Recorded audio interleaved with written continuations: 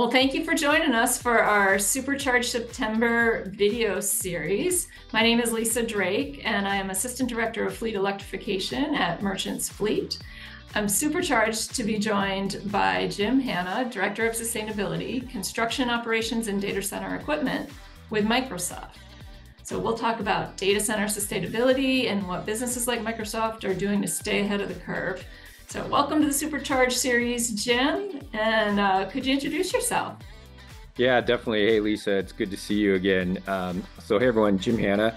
I've been with Microsoft now for about nine and a half years. Uh, I joined the company to start up the data center sustainability team interestingly, uh, you know, as a large technology company, we hadn't been focusing on on the footprint of our data centers uh, too exclusively, and had really just been focusing on offices and employee travel as our primary uh, environmental footprint.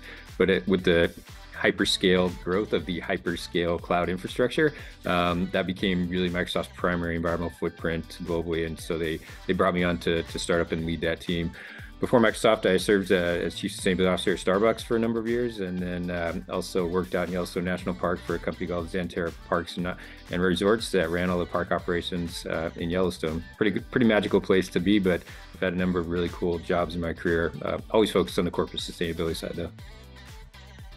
Yeah, that's great. Such a great, such a great background and story, and such great organizations that that you've been with. And I'm glad you opened with that thought about um, just the footprint of of data centers growing that you know there's such an extraordinary there is such an extraordinary surge in data creation happening today with advances in technology and ever increasing computing power and speeds and um, you know really exponential growth in data. And so you know that has to be challenging to keep up with. You know, we, we would love to have the problem of an ever increasing number of trucks on the road every day um, with our fleets, but um, you know, the, there is a challenge there. So I'd love to hear a little bit about how Microsoft's um, approaching that escalating demand for data centers and how do you stay ahead of it?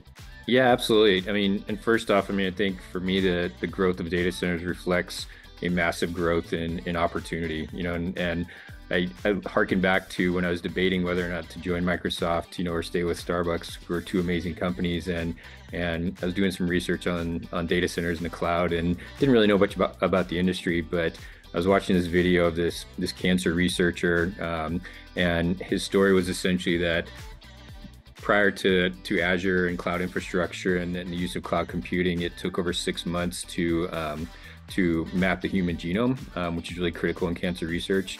And with the advent of cloud computing that came along with that and all the services, um, he was now able to do that in one day. And so when you look at the opportunities that the growth of hyperscale cloud really provide, it's pretty exciting, you know. And but you're right, Lisa. I mean the the the infrastructure of cloud, it's certainly not in the cloud. It's concrete, it's steel, it's it's a lot of servers. You know, it's it's significant electricity consumption, it's significant water consumption for cooling.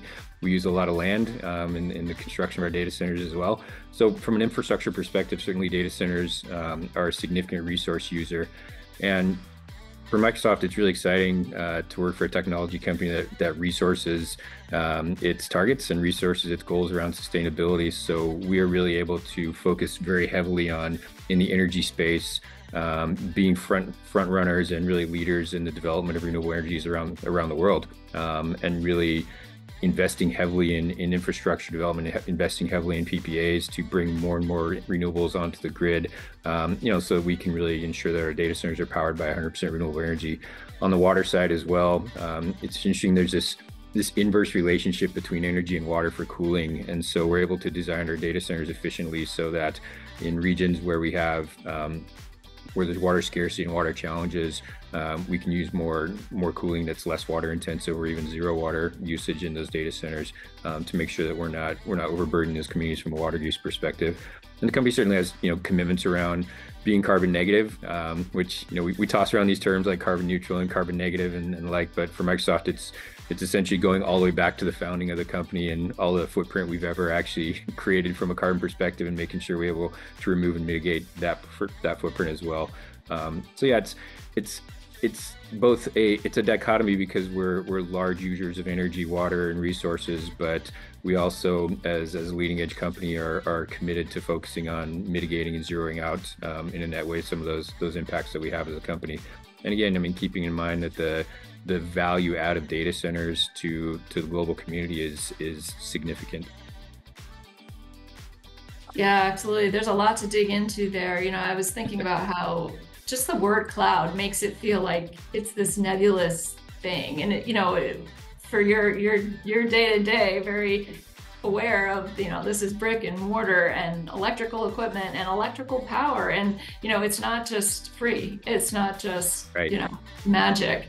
Not and, floating in the cloud. Nope. Yeah. So you know it's uh, it's helpful to, you know to hear about how you how microsoft thinks about about those impacts. And um, i guess what are there any particular challenges that you that you're really trying to break through and find new solutions for yeah, I think I think for us the one of the biggest challenges is, and this has been for me in my career uh, throughout the sustainability world and corporate sustainability for 30 years now.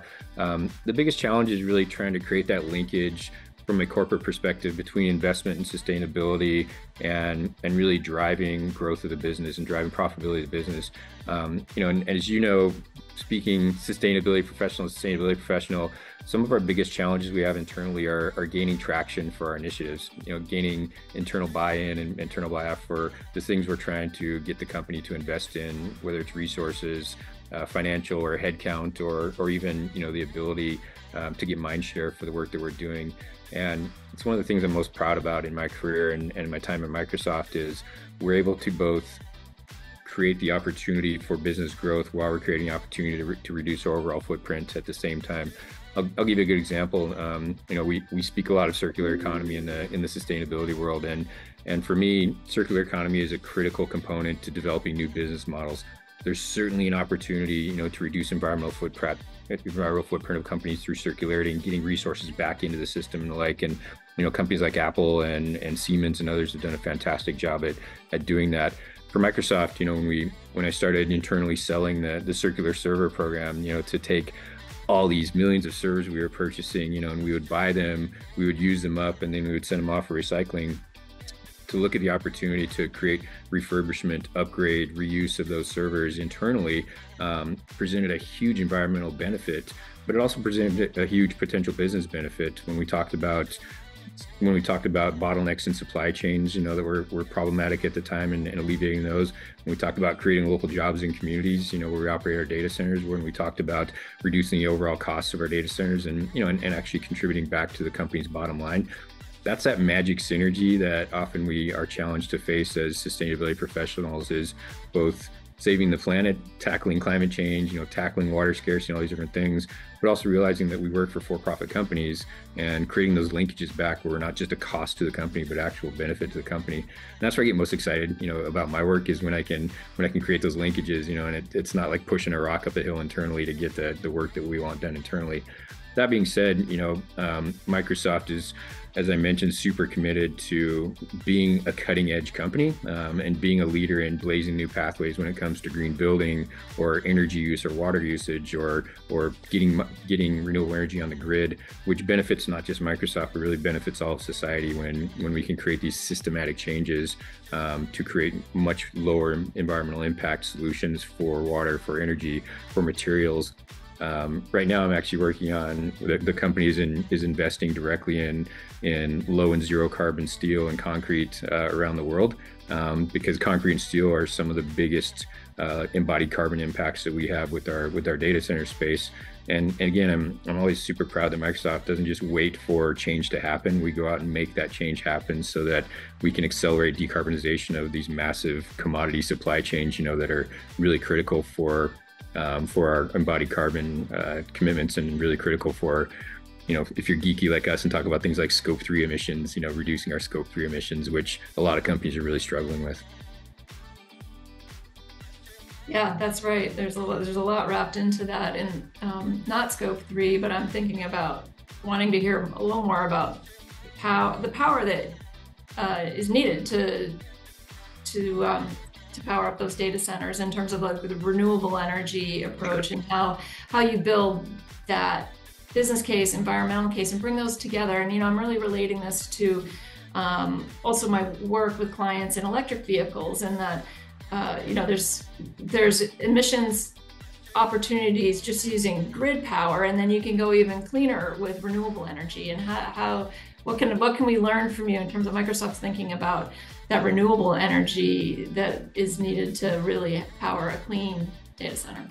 Yeah, and I think, you know, as you know of any large consumer of electricity, which your company is and, and my company is, um, sometimes the generation isn't physically near to where the consumption is. You know, and that's especially true in the United States, where um, the middle part of the country is a significant generator of renewable energy, and the and the coastal parts of the country are the significant consumers of that energy.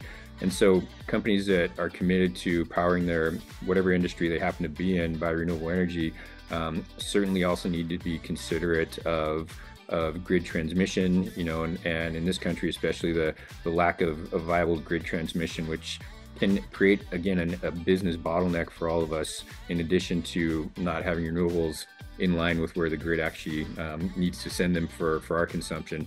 So, you know, Microsoft has been one of the leaders in developing power purchase agreements and PPAs which allow us to directly invest in the in the creation of new infrastructure renewables, which is really critical to move beyond just unbundled RECs, which a lot of us have used in the past to to make green claims around around our energy purchases.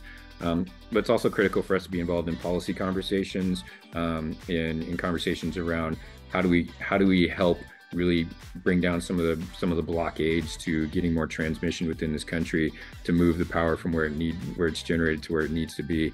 Um, and that's a team effort you know so any company or any entity that's concerned about the ability of us to meet our climate targets and our renewable energy targets um, we need to be focused certainly on transmission and uh, or certainly on, on generation and getting more and more generation onto the grid but how those electrons move about has really in most cases proven to be um, one of the major stalls when it comes to more and more deployment of renewable energy.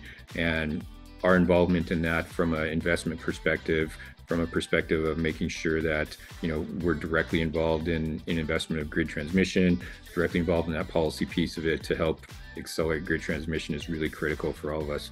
And you know, again, I would I always encourage fellow users of electricity, um, especially larger users of electricity, who also have the same ambitions around renewable, um, to get involved and partner with other companies and partner with other entities who are also focused on the transmission of electricity as one of the critical components. Yeah, that's right on. I think this is new for the fleet managers that that we work with. That electricity is not what they've been using as the fuel for a number of years. for, so for sure, for sure. It's uh, it's it's a, it's a newer topic, but one we have a lot a lot to learn about. Um, do you have any advice about making the business case for EVs and electrification of fleets as a sustainability initiative? Yeah, it's it's so it's it's funny. I mean, I and I touched on this a moment ago when I was talking about circularity, but but I found, and this this may seem ironic, but I found the best way to get traction on sustainability initiatives is not to talk about sustainability. Um, and and again, I think a lot of my colleagues in the industry find that a bit ironic. And that our primary goal is, you know, to help tackle climate change and help tackle water scarcity and food scarcity and all these other big global societal challenges that we face. Um, but you know, when you place that next to private companies and corporations um, whose also primary goal is to create a return to shareholders, um, it's really critical that we speak that language as sustainability professionals. So regardless of what your industry is in, is in, you know, if you have environmental targets and you have environmental commitments as a, as a company, or even I think, you know, in your company where the very nature of the company is to reduce the environmental impact uh, around the world, which is very exciting. Um, in order to get internal traction for the investments that you want your company to make and you want other companies to make in in whether it's climate change or renewable energy or, or other you know quote green topics if we can learn to better speak the language of business and translate the work that we're trying to do back into business metrics um, that's really critical for us to achieve success and to get those greater investments. You know i talked about in the circularity space which um, certainly for me I never even talked about sustainability when I was pitching that program internally for circular servers. I really just talked about the business benefits and, and de-risking parts of the business as well.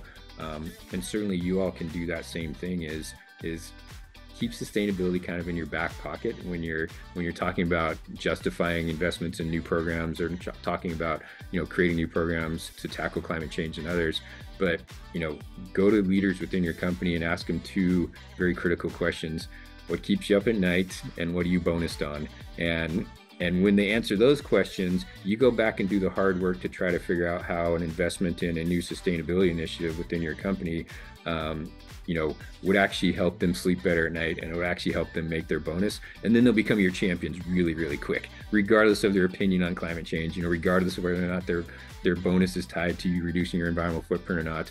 That's how you create these real fast internal champions and get a whole lot more resources for your work and get a whole lot more headcount and mind share for the work that you're trying to do within your company. And that's universal. Um, you know, whether you're a, an electric vehicle company, whether you're making coffee, you know, and in my previous work at Starbucks or whatever happened to be, um, always tying back to how other business leaders within the company measure their success um, is where I found my most success in sustainability. Um, it's funny we used to call sustainability the, the gift with purchase at starbucks where you know it was kind of like the thing you got not for free but the thing you got along with all the business cases you're able to make for the work that you're trying to do. Um, you know, i remember when i was one of the first programs i did at microsoft was i i tried to convince the company that we wanted all of our new data centers in the world to be LEED gold certified. And the initial feedback i got when i when i pitched that as an environmental program was there's no way we're going to do this um, because our whole mod our whole mantra around building data centers was replicate and scale replicate and scale because we were trying to build these things as fast as we could to meet with customer demand. And any anything that anyone proposed that would slow down that train of replicate and scale um, just wasn't considered. So when i looked at LEED you know as something i did at starbucks I really looked at the volume build certification opportunity with LEED so that we could just replicate that over and over and over again in our data centers instead of the typical one off LEED applications that you did. And then it suddenly became a scalable opportunity for the company to meet a whole plethora of environmental demands from different communities around the world, uh, the world on how we built our data centers um, with one program versus a bunch of one-offs. So then it actually helped accelerate a lot of the permitting. Actually helped accelerate a lot of um, the compliance that we were looking at um, in these different communities around the world. And you know, regardless of whether or not it was an environmental program, it just became a scalable program that we were able to do quickly. Um, and we we built the LEED volume certification standard for data centers with U.S. Green Building Council, and now any other data center company in the world can can use that standard to do the same type of thing. So those are the kind of things that for me are really critical is make the business case for what you're trying to sell internally or, or accomplish internally from a sustainability perspective and you'll get way more traction that's really insightful and um, really appreciate your your leadership and Microsoft's leadership in in putting that LEED standard out and um, and making it available for others because this is like we all have to do it together on a great degree to to, to, to have global success. Um, I'm wondering, you know, given you know your the, the breadth of your career and and the nine years now that you've been at Microsoft, um, you know you have been a leader. Microsoft has been a leader in so many ways, but I wonder what your what your overall thought is about the most impactful thing that Microsoft has done. I think for me, I mean, if we keep it within the walls of sustainability, um, the the most impactful thing that Microsoft has done is a commitment to put the resources toward being a game changer. Um, you know, and that might sound cliche, but it, you know, I look at previous companies where I worked, and it was always a struggle to get resources, and it was always a struggle. Um, you know, I, I, jokingly say when I was at Starbucks, I mean, we had amazing initiatives, but we were handed a roll of duct tape and some chicken wire to go solve them. You know, because that that was the nature of retail. Is you, you just didn't have a lot of resources to do things. And you know, one of the one of the cool things about working in the tech industry is we we have resources to put toward our initiatives, and and Microsoft's commitment really to to and I'm starting to use a bunch of cliches now, but to you know to be that kind of trailblazer to to knock down all the barriers so that other companies can achieve um, sustainability outcomes, um, but to be the ones that solves a lot of those problems up front. You know, and I I talked about you know you know getting green building certifications for data centers and then offering that to the world. You know, I talk about our our ability to make the business case for circularity um, in server space, which really you know, can be used as a case study for other companies to say, look, this just this isn't just a green opportunity; it's a business opportunity. So why don't we go build circularity, you know, for our data centers as well to address a lot of these business challenges that we have. Um, you know, and even even in the space now where um, a lot of my focus now is on scope three emissions and really the embodied carbon and construction materials, which frankly most companies are failing miserably at meeting their targets right now at doing.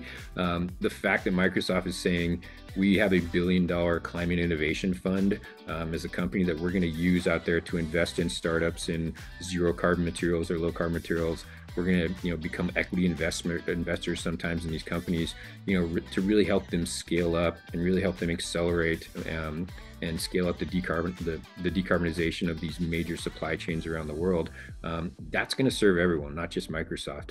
And that's one of the things i'm most proud about really is that we create solutions that serve everyone not just our our own self-interest as a company. And and we always have that lens on the investments that we make as a company the initiatives that we do as a company is how do we blaze the trails so that others don't have to go through the same pain points, you know, and get the same bumps and bruises along the way, um, and we can really set the table for others to to solve these initiatives, um, maybe in companies that don't necessarily have the same level of resourcing that we do. That's really powerful and um, really inspirational. So thank you.